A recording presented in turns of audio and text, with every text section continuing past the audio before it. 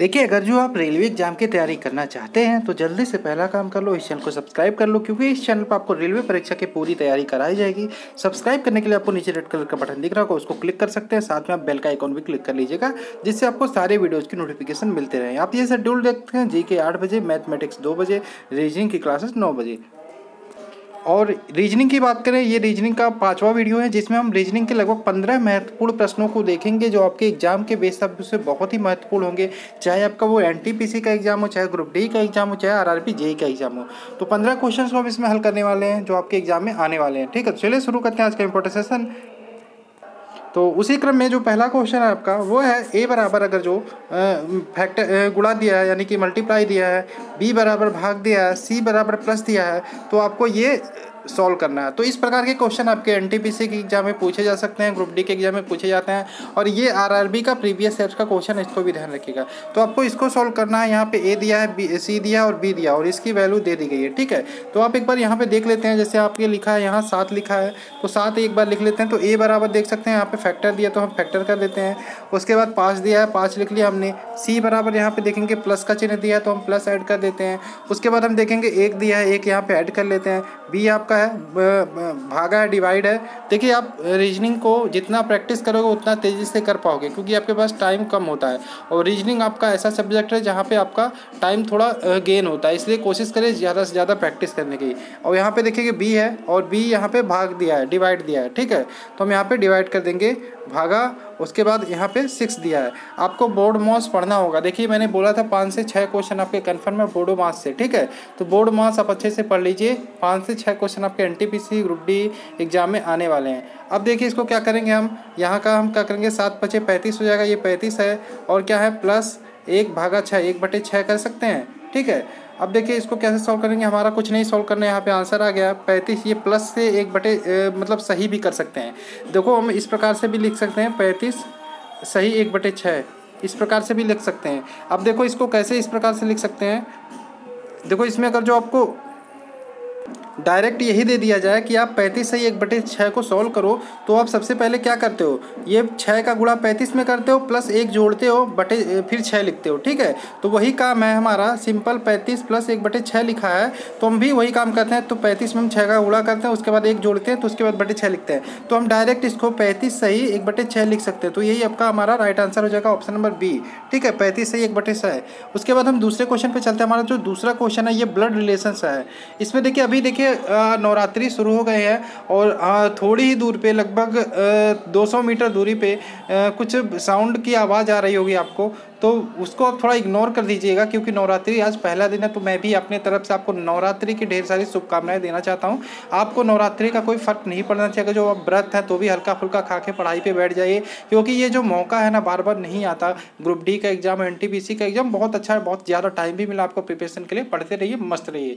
दूसरे क्वेश्चन की बात करें तो आपका दूसरा क्वेश्चन मैंने बोला ब्लड रिलेशन का, इसमें देखिए क्वेश्चन को पढ़ते हैं, यदि ए की बहन की पति बी की सास के दामाद है वो तो ए किस प्रकार से बी से संबंधित है? तो इसमें बोला है ए की बहन। तो ए की बहन मान लेते हैं ए है आपका, ठीक है? ए की बहन मान लीजिए कोई है ए की बहन की पति ए की बहन के पति, की पति, यहाँ पे का होगा, ठीक है? ए की बहन है, ठीक है? ए की बहन है, उसका पति है ये।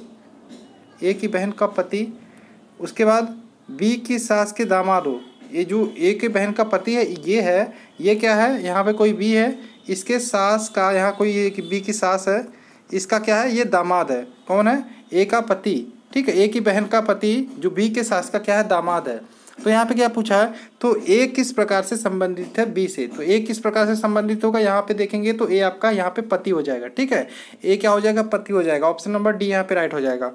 नेक्स्ट चलते हैं। नेक्स्ट क्वेश्चन कहीं पे भी कोई भी क्वेश्चन कंफ्यूज हो तो आप मुझे कमेंट करके बता सकते हैं। ठीक है, ये नेक्स्ट क्वेश्चन आपका अल्फ़ा बराबर दिया है छत्तीस अल्फ़ा बराबर थर्टी सिक्स दिया है बेटा बराबर दिया है ट्वेंटी सिक्स तो डेल्टा बराबर आपको निकालना है। ये आपका क्वेश्चन मैंने बोला था अल्फ़ाबेटिकल सीरीज़ आपको पढ़ना होगा, अच्छे से याद करना होगा। अल्फ़ाबेटिकल सीरीज़ से भी चार से पाँच क्वेश्चन आने ही आने तो अल्फ़ा देखते हैं, छत्तीस कैसे आया तो यहाँ पर हम देखेंगे, अगर जो ए का नंबर देखेंगे तो एक आता है एल का नंबर देते हैं तो बारह आता है पी का नंबर देखते हैं अल्फ़ा अल्फ़ाबेट में, यानी कि जो हमारा अल्फ़ाबेट आता है, उसमें देखेंगे तो पी का जो नंबर आएगा, वो सोलह नंबर पे आएगा यच की बात करें तो यच का जो पोजीशन है, वो एट है ए का पोजीशन जो है वन है। इन सबको अगर जो हम ऐड कर दें तो इन सबको अगर जो हम ऐड कर दें तो हमारा कितना आता है? अड़तीस आता है। सॉरी हाँ अड़तीस आता है, ठीक है? अड़तीस आता है, लेकिन अड़तीस, अब छोड़ो, इसको अड़तीस आ रहा है तो यहाँ पे हमारा छत्तीस दिया, इसमें हमें पता नहीं चल रहा छत्तीस कैसे आया। चलिए हम बेटा को भी जोड़ते हैं। तो ठीक है, हम बेटा को भी जोड़ते हैं तो बी की वैल्यू हमारा दो है बी की वैल्यू दो है ई e की वैल्यू पाँच है ई e की वैल्यू पाँच है, उसके बाद देखेंगे टी की वैल्यू की बात करें टी का वैल्यू हमारा ट्वेंटी हो जाएगा ए का वैल्यू हमारा वन हो जाएगा। इसको भी हम जोड़ते हैं तो ये हम जोड़ेंगे तो ये हमारा आएगा ट्वेंटी एट लेकिन ये दिया है क्या? ट्वेंटी सिक्स दिया अब आप देख रहे हैं यहाँ पे थर्टी एट आया, यहाँ पे ट्वेंटी एट आया। अब देख रहे हैं यहाँ पे थर्टी सिक्स लिख दिया, यहाँ पे ट्वेंटी एट लिख दिया। तो क्या किया गया? यहाँ पे दो घटा दिया गया। इसमें भी दो घटा दिया गया तो थर्टी सिक्स आया। ये आपका कितना है? ट्वेंटी सिक्स आया। तो आपको समझ में आ गया कि क्वेश्चन में किया क्या गया है। अब इसी प्रकार से डेल्टा को भी कर दीजिए। डेल्टा डी की वैल्यू की बात करें तो डी की वैल्यू चार होती है। ई e की वैल्यू पाँच होती है। यल की वैल्यू की बात करें तो यल का वैल्यू बारह होता है। टी का वैल्यू ट्वेंटी होता है और ए का वैल्यू वन होता है। इन सबको आप जोड़िए। इन सबको जोड़ेंगे तो फोर्टी टू आएगा। फोर्टी टू में से क्या करेंगे? टू माइनस कर देंगे तो आपका फोर्टी निकल के आ जाएगा, जो आपका राइट आंसर हो जाएगा। यहाँ पे आप, आपका ऑप्शन नंबर सी यहाँ पे राइट आंसर होगा। ठीक है? नेक्स्ट चलते हैं। इसी प्रकार से आपका अल्फ़ाबेट से एक और क्वेश्चन है। यहाँ पे काऊ भागा सी डब्ल्यू किया है तो तेरह है। तो यहाँ पे देखते हैं सी काऊ भागा सी सी डब्ल्यू किया क्या है? तेरह है। तो आप सोच सकते हैं सी की वैल्यू आप अगर जो देखेंगे सी की वैल्यू यहाँ पे यहाँ पे देखिए इसमें ऑप्शन से कर सकते हैं। ऑप्शन से कैसे करेंगे?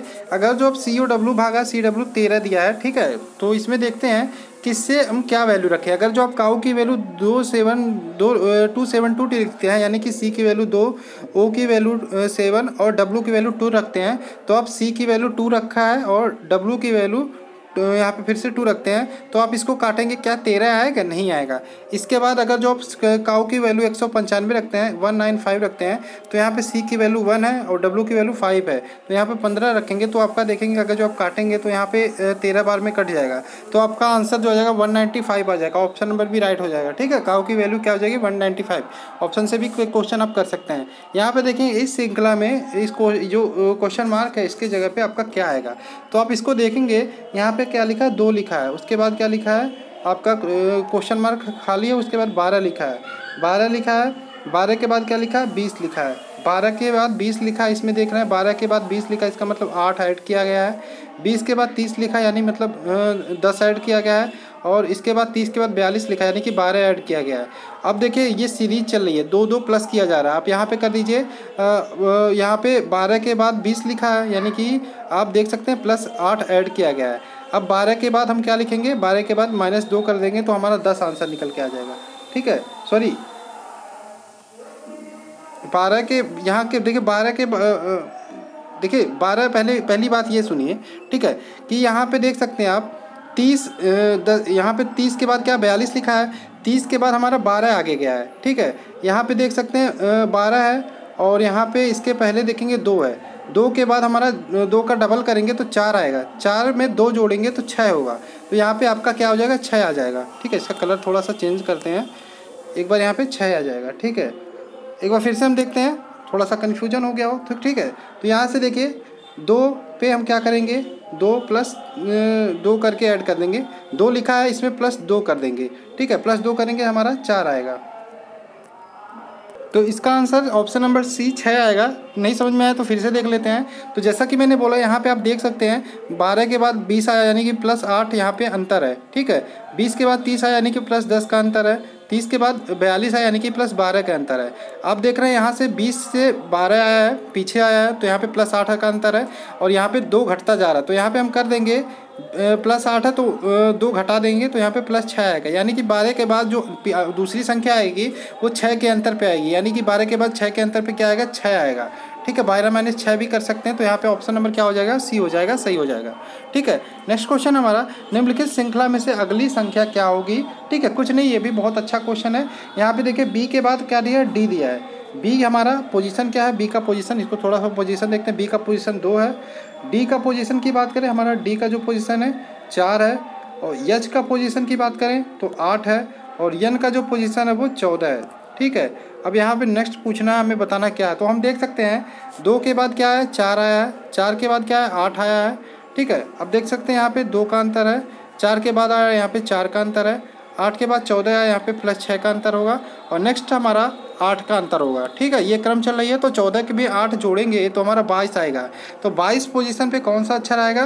तो बाईस पोजीशन पे हमारा वी अच्छा रहेगा। क्या होगा? वी आएगा। तो ऑप्शन नंबर यहाँ पे क्या आ जाएगा? ए सही हो जाएगा। ठीक है, समझ में आ रहा हो तो जल्दी से वीडियो को लाइक कर दो।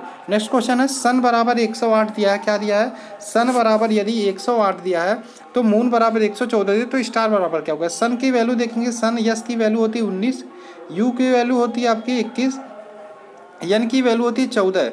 इसमें दिया इसको ऐड करेंगे तो हमारा चौवन आएगा। ठीक है, लेकिन चौवन यहाँ पे नहीं दिया अब देखिए, हम मून की वैल्यू इसी प्रकार से निकाल लेते हैं। यम की वैल्यू की बात करें तो तेरह होगा ओ की वैल्यू पंद्रह डबल हुआ है, फिर से पंद्रह जोड़ेंगे। और यहाँ पे यन की वैल्यू क्या है? यहाँ पे एन की वैल्यू चौदह हो जाएगी, ठीक है? इसको हम जोड़ेंगे तो हमारा ये निकल के आएगा सत्तावन। लेकिन यहाँ पे सत्तावन नहीं है। तो यहाँ पे देख रहे हैं, चौवन दूना एक सौ आठ है तो गुड़ा दो कर दिया है, यहाँ पे एक सौ आठ निकल के आ गया। सत्तावन गुड़ा दो करेंगे तो एक सौ चौदह तो आप देख सकते हैं, जो भी वैल्यू है, उसको जोड़ के मल्टीप्लाई दो कर दिया गया तो यही काम हम स्टार में भी करेंगे। तो यहाँ पे देखेंगे यस की वैल्यू उन्नीस हो जाएगी प्लस करेंगे टी की वैल्यू की बात करें तो बीस हो जाएगी। ए की वैल्यू एक होती है, पता है आपको आर की वैल्यू अट्ठारह होती है। इन सबको जोड़ेंगे तो फिफ्टी यानी अट्ठावन आ जाएगा। उसमें दो का मल्टीप्लाई करेंगे तो एक सौ सोलह आपका आंसर निकल के आ जाएगा। ऑप्शन नंबर बी यहाँ पे राइट आंसर हो जाएगा। ठीक है? नेक्स्ट है, किसी कूट भाषा में, किसी कूट भाषा में उत्तर को पश्चिम दक्षिण को पूरब पूरब को उत्तर कहा गया है। तो सूर्य किस दिशा में? आपको पता है सूर्य पूरब दिशा में उठता है, ईस्ट में उठता है। तो ईस्ट को यहाँ पे क्या कहा गया? ईस्ट को उत्तर कहा गया है। तो ऑप्शन नंबर सी यहाँ पे सही हो जाएगा, उत्तर आपका राइट आंसर होगा। नेक्स्ट क्वेश्चन है, निम्नलिखित में से अन्य से एकदम भिन्न कौन सा? ध्यान रखिए इसमें, चेचक, खसरा और बुखार। ये थोड़ा एक टाइप के हैं। चेचक में भी बुखार होता हल्का सा, ये खसरा भी सेम टाइप का बुखार। यहाँ पे जो मस्तिष्क ज्वर है वो सबसे अलग है। ठीक है? और ये जो होता है मस्तिष्क ज्वर ये विषाणु जनित रोग है, इसको भी ध्यान रखिएगा।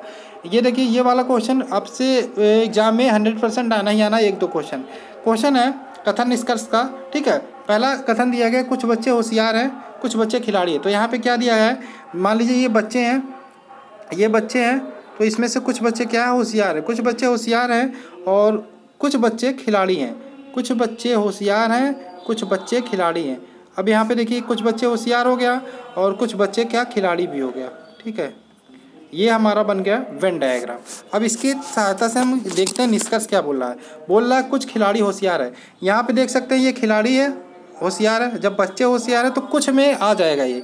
तो यहाँ पे पहला वाला भी आपका निष्कर्ष सही हो जाएगा। दूसरा है, कुछ होशियार बच्चे खिलाड़ी है। क्या कुछ होशियार बच्चे खिलाड़ी है? हाँ कुछ बोल रहा है तो होशियार बच्चे खिलाड़ी हो रहे हैं। तो यहाँ पे ये भी सही हो जाएगा। यानी कि आप देखेंगे, निष्कर्ष वन और दो, दोनों निष्कर्ष अनुसरण करते हैं। ऑप्शन नंबर सी राइट हो जाएगा। ठीक है? सिंपल तरीके से सॉल्व हो गया।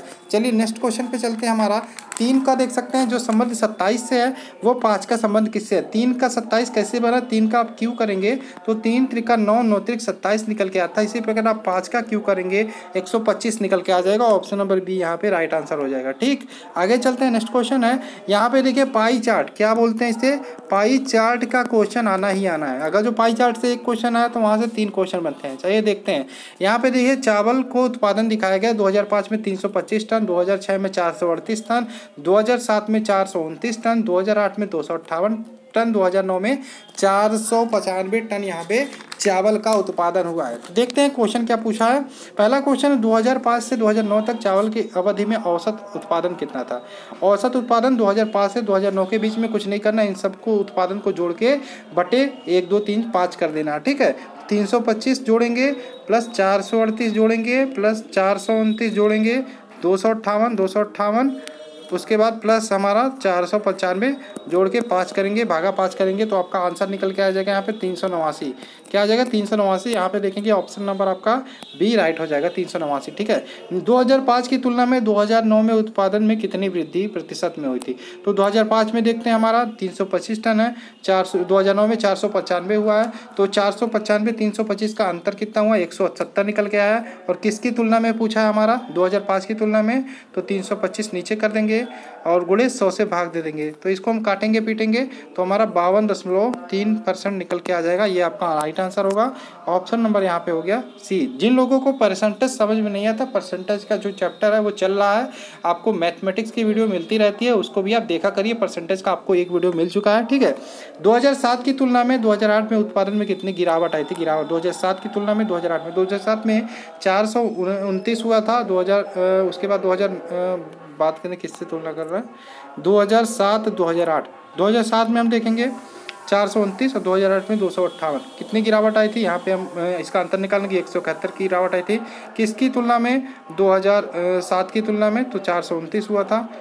सौ से भाग दे देंगे, इसको आप सॉल्व करेंगे तो आपका ये उनतालीस दशमलव आठ छः समथिंग आएगा निकल के। लेकिन आप देखेंगे ऑप्शन में उनतालीस है ही नहीं तो यहाँ पे चालीस के समथिंग आएगा ऑप्शन नंबर ए राइट हो जाएगा। तो दोस्तों, ये थे आपके इंपॉर्टेंट पंद्रह क्वेश्चन आपके एन ग्रुप डी एग्ज़ाम के लिए, जो आपके बहुत महत्वपूर्ण हो सकते हैं रीजनिंग की। आशा है आपको वीडियो पसंद आएगा तो जल्दी से वीडियो को लाइक कर दो। देखते रहो exam grow tips and tricks thanks for watching मिलते हैं नेक्स्ट वीडियो में। जय हिंद दोस्तों, जय भारत।